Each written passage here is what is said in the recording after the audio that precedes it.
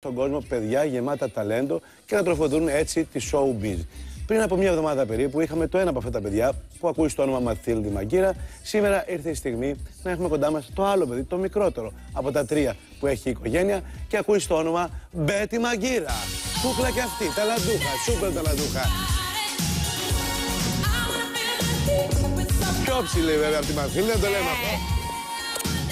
Το Στερνοπούλι πήρε όλο το Άρχισα πόδι. λίγο να βγω εγώ, Ναι, αλλά- αλλά πήρα το πόδι. Βγήκα το τρίτο, το μακρύτερο στην κυριολεξία Το όμως. μικρότερο και το μακρύτερο. Έτσι, έτσι.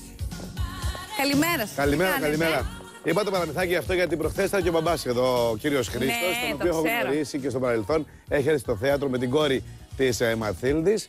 Ε, ξέρω ότι είναι ταλαντούχος, ξέρω ότι τραγουδούσε πάρα πολύ ωραία και τραγουδάει.